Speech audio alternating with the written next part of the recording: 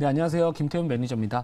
자, 코난 테크놀로지는 뭐 제가 매일 말씀을 드리지만 사실 이거는 이제 보유자의 영역이고요. 뭐 이거를 지금 어디까지 갈 것이다라고 논하기에는 어, 우선은 제가 봤었을 때는 좀 무의미하지 않을까 오히려 그런 생각을 하고 있습니다. 어, 이제 1월달 마감까지 이제 얼마 남지 않았기 때문에 뭐 개인적인 바람이지만 아마도 이 최고가 수익률 기준으로 이제 1등은 어, 좀 가능하지 않을까 이렇게 말씀을 드리고 싶고요. 어, 지금 어, 최근에 제가 어, 이 대형주들에 대한 부분들을 좀 말씀을 좀 드렸었습니다. 이 원래 제가 이제 이 생쇼에서는 어, 대형주를 좀 편입을 안 했었는데 제가 이번 달에는 카카오 를 이제 편입을 했었잖아요. 그래서 이 시장의 흐름이 좀 변화하고 지수 상승을 따라갈 수 있는 어떻게 보면 이제 지수하고 같이 움직일 수 있는 종목을 좀 매매하면 좋을 것 같아가지고 편입을 해봤고요. 어, 카카오 같은 경우에는 제가 이전 같은 경우에는 여러분들 이제 1차 목표가는 저희가 5% 정도의 이제 기준을 잡고서 목표 수익을 좀 많이 했던 경우가 있었지만 어, 이 종목 같은 경우에 제가 사실 이번 달보다는 다음 달까지도 좀 바라보면서 1차 목표가를 평소보다 좀 높게 잡았던 종목이다 이렇게 설명을 드렸습니다. 1차 목표가를 이제 한 6만 7천 원으로 제가 말씀을 드렸었는데 어느덧 2천 원밖에 안 남았습니다. 그만큼 지금 차트 한번 보여주시면은 지금 차트 자체 보시면 꾸준히 지금 지수의 반등과 함께 따라 올라가고 있습니다. 이 카카오에 대한 부분들 워낙 작년에 어, 좀 부정적인 이슈들이 좀 동시에 나와주다 보니까 뭐 데이터 센터 화재 사건뿐만 아니라 뭐 골목 상권 침해다 뭐 이런 이야기들이 좀 나와주면서 또 게다가 이 매크로에 대한 부분들이 이제 성장주나 인터넷주들 뭐 기술주에 대한 하방 압력을 좀 강하게 받다 보니 전반적으로 고점 대비 많이 빠져 있는 주가인데요.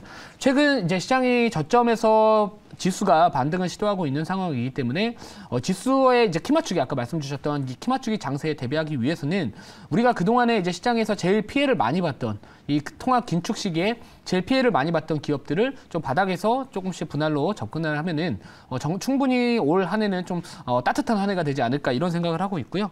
1차 목표가 6만 7천 원 전략 계속해서 유지를 하고요. 어, 만약에 돌파 나와준다면은 7만 8천 원 어, 까지도 좀 이전 이때 고점입니다. 한 7만 8천 원 정도까지도 좀 가격대 열어두면서 어, 지수 상승에 대한 부분들을 같이 한번 좀 누려보겠다. 이렇게 말씀을 드리고 싶습니다.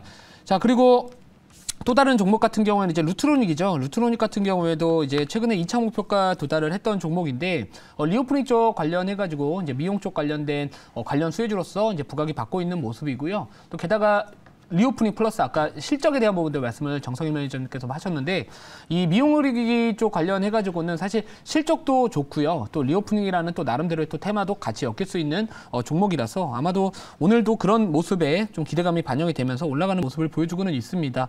자, 23,500원에 이제 2차 목표가 최근에 좀 도달한 상황이고요. 만약에 뭐 돌파 나와 준다 한다면은 지금 한 24,000원 정도는 좀 돌파하는 모습 보여준다면은 뭐 그 다음 가격대 한 26,000원에서 27,000원 정도 때좀 바라보면서 어, 대응을 하는 것도 좋겠지만 우선은 이제 항상 그런 게 좀 있을 것 같아요. 수익을 기회를 줄 때는 어느 정도 수익을 좀 확보해두면서 안전마진을 확보해준 상황에서 나머지 비중으로 이제 수익을 극대화하는 전략을 가져가야 우리가 심리적으로도 편안하고요. 어, 추가적인 상승이나 뭐 조정에 대해서도 좀 객관적인 판단이 가능하지 않을까. 이런 분할 매수나 분할 매도에 대한 중요성이 이럴 때 좀 나타나지 않을까 이렇게 생각을 하고 있습니다.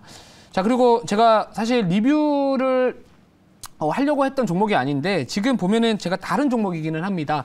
어, CIS라는 종목을 좀 말씀을 드릴게요. 그냥 간단하게 좀 말씀을 드리면은 CIS 종목이 어느 정도 이제 목표가 어, 과대 낙폭주다라고 하면서 이제 만 오백 원 정도를 일차 목표가로 잡았었는데 뭐 충분히 조금씩 조금씩 시장이 또 키맞추기 하고 있는 만큼 뭐 그 정도까지는 좀 올라오지 않을까 뭐 이런 생각을 하고 있습니다. 자 그러면 이제 오늘 편입할 종목 같은 경우에는 자 우선은 단기적으로 좀 지수가 올라가 있는 측면도 좀 있잖아요. 그렇기 때문에 좀 밑에서 어, 업황이 좀 개선되거나 아니면 좀 배, 밸류에이션 매력도가 그래 좀 부담이 없는 그 기업을 좀 포함을 어, 편입을 할 예정이고요. 자, 어, 현재가부터 말씀을 드리면은 8만 원입니다. 딱 떨어지는 숫자 8만 원이고요. 종목명은 아프리카 TV입니다. 자, 한동안 좀 많이 아팠던 종목인데 자, 이 종목 같은 경우에도 제가 이제 최근에 과대낙 폭주들 또는 어, 고점 대비 좀 상당히 좀 많이 빠져 있는 기업들의 종목들을 좀 기업들을 많이 찾고 있습니다. 근데 제일 중요한 게 뭐냐면은요, 막 카카오도 마찬가지고 더 이상 최악일 게 없다. 좀 이런 기업들을 좀 찾았어요. 그리고 지수가 만약에 반등이 나와주고 하고 또 최근 거래량이 좀 우선은 바닥에서 좀 터진 종목들을 좀 잡아 어, 생각을 찾아, 찾아봤고요.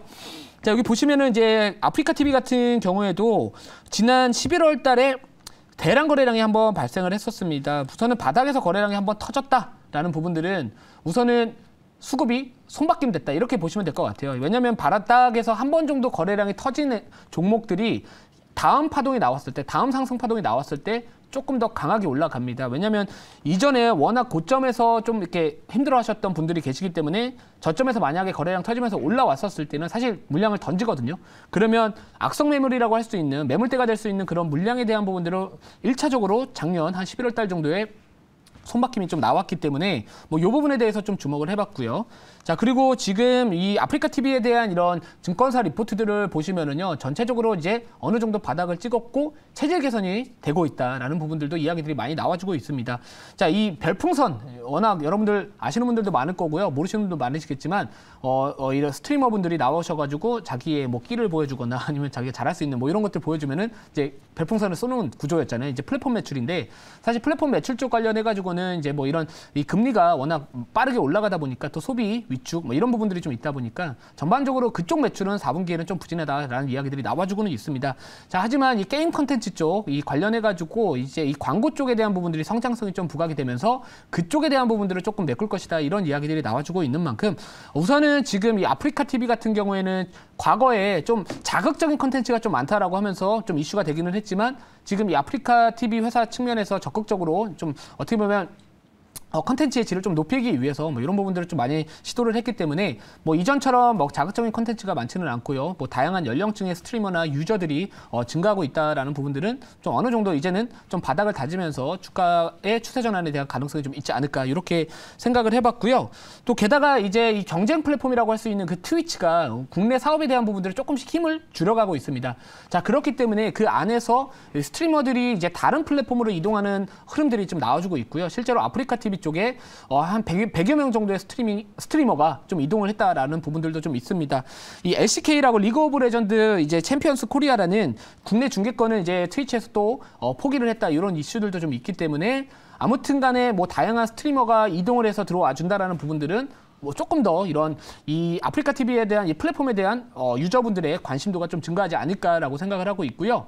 자, 최근 이 플랫폼 쪽 관련해 가지고 예시를 좀 들 수가 있는 게 디어유입니다. 디어유 같은 경우에도 그 유니버스죠. 이 NC 소프트에서 갖고 있었던 그 유니버스라는 그 어, 플랫폼이죠. 연예인들하고 어떻게 보면 이렇게 다양한 어, 아티스트하고 이제 소통할 수 있거나 그런 플랫폼인데 팬덤인데 그거를 좀 인수 사업권을 인수를 하면서 이 아티스트들이 이제 디어유에 오면서 이 매출에 대한 기여도가 증가할 것이다. 이런 부분들이 포인트가 됐었거든요.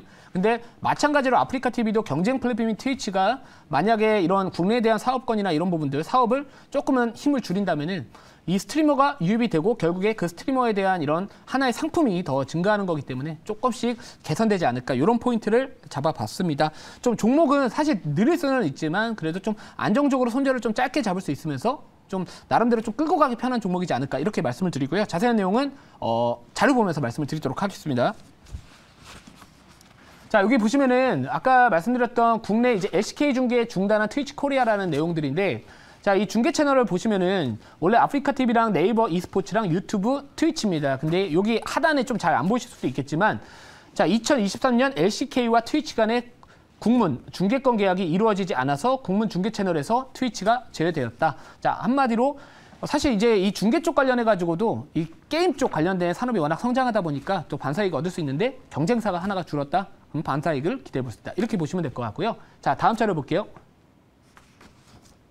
자, 여기 보시면 최근에 이제 아프리카 TV가 UI랑 UX를 좀 계속해서 이제 개선을 시키려고 노력을 하고 있는데 뭐 기존에는 이제 스트리밍 환경 보시면은 화질이 뭐 1080 정도 되는데 BP, P 정도 되는데 지금 1440픽셀까지 상향을 하겠다. 그리고 일반 화질 비트레이트도 조금 더 높이겠다라고 하면서 이 스트리머들이 왔었을 때 조금 더 매력적으로 느낄 수 있게 뭐 이런 다양한 좀 시도를 하고 있다라는 부분들이기 때문에 자, 아마도 아프리카 TV도 이제 트위치에서 이제 활동하는 스트리머들을 유입하기 위해서 노력하고 있다. 뭐 아니면 이런 퀄리티를 높이기 위해서 노력하고 있다. 이렇게 보시면 될 것 같습니다. 자, 다음 자료 볼게요. 자, 그리고 이 밸류에 대한 부분들도 한번 우리가 체크를 안 해볼 수가 없을 것 같은데, 자, 우리가 지금 어떻게 보면은 과대낙폭주들이나 전반적으로 지금 성장주들이 어, 이 투트랙 전략이 좀 필요한 시점이잖아요. 근데 이 종목 같은 경우에는 이제 10 개월 선행 펄을 보시더라도요. PR을 보시더라도 지금 전반적으로 과거의 역사적인 흐름 대비해서는 어, 주가 수준이 실적 대비해가지고는 비싸지 않기 때문에 좀 약간 안정적으로 바닥주 좋아하시는 분들께 적합하지 않나 이렇게 좀 말씀을 드리도록 하겠습니다. 자, 추가적인 가격 전략은 질문 받아보고 말씀을 드릴게요. 네, 질문 주십시오. 네, 제가 질문 드리겠습니다. 어, 자, 질문을 제가 드리겠습니다. 음, 자, 아프리카 TV 같은 경우는 지금 다양한 컨텐츠를 통해서 우리 소비자들한테 그 좋은 서비스를 제공을 하고 있습니다. 어, 그런데 한 가지 이제 최근에 우리 그 이제 전반적으로 우리 이제 전반적인 시황이 좀 이게 저점에서 어, 달러로 보니까 한 36% 정도 올라왔는데 에, 그랬다라면 그 전반적인 시황 고점에 대해서 아프리카 TV는 영향을 안 받고 어, 상승이 가능한지 궁금합니다. 사실 시황이 안 좋으면은 대부분의 종목들이 좀 하방 압력을 받겠죠. 근데 네.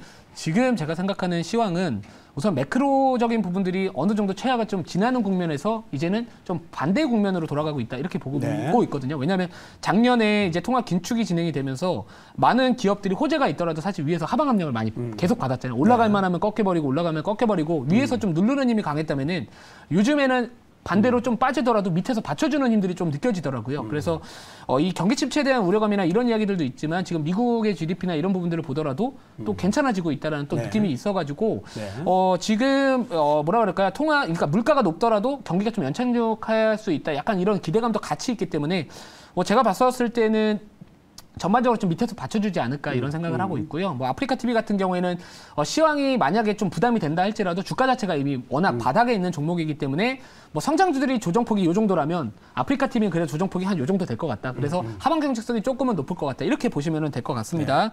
자, 그래서 지금 보시면은 어, 1차 목표가 같은 경우에는 84,500원이고요. 2차 목표가는 89,000원, 그리고 손절가는 7만 원 말씀을 드리도록 하겠습니다.